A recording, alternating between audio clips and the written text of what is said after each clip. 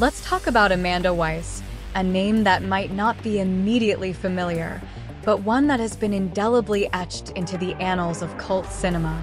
If you've ever found yourself glued to the screen during an 80s movie marathon, chances are you've seen Wyss, and if you haven't, well, you're in for a treat. With a career that's spanned over four decades, she's been everything from a high school sweetheart to a nightmare victim, all while maintaining an air of charm that's as recognizable as her iconic 80s hairstyles. Wyss started her journey in the early 80s, a time when big hair and bigger shoulder pads ruled the world. Her breakout role came in Fast Times at Ridgemont High, 1982, where she played Lisa, a high school student who witnessed the teenage shenanigans of Judge Reinhold, Sean Penn, and Phoebe Cates.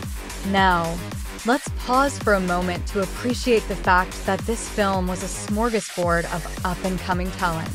It was like an awkward yearbook photo of future Hollywood royalty, and there was Amanda Wyss, holding her own like a pro. But it wasn't just high school comedies that would cement Wyss's status as a cult icon.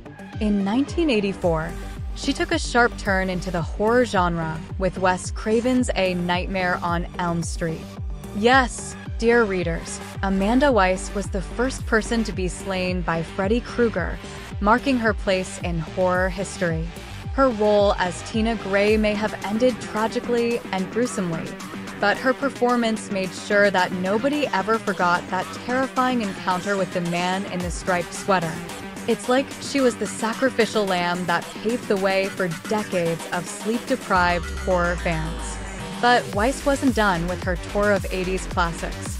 She followed up her Scream Queen duties with a role in Better Off Dead, 1985, where she played Beth, the girlfriend who dumps John Cusack's character, sending him into a spiral of comic despair. If breaking the heart of John Cusack doesn't make you a certified 80s icon, I don't know what does. But Amanda Wyss made it look effortless, as if she was the muse of teenage heartbreak itself. Now, while her film roles were enough to secure her a place in the 80s Hall of Fame, Wyss also dipped her toes into the world of television, starring in episodes of Cheers and Saint Elsewhere. However, it was her role as Randi McFarland, the investigative reporter in Highlander, the series 1992 to 1993, that showcased her ability to bring depth and charisma to any role, no matter the screen size. If you like this video, give us a thumbs up and join the crew by subbing and clicking the bell. She had a knack for making you care about her characters, whether she was dodging sword-wielding immortals or navigating the social pitfalls of a Boston bar. Amanda Wyss's career is a delightful mix of genres and roles, each one leaving a lasting impression. She's the kind of actress who has quietly influenced the landscape of cult cinema, leaving her mark in unexpected places. From horror to comedy, from the big screen to the small, Wyss has done it all with a wink and a smile, even when Freddy Krueger was lurking in the shadows.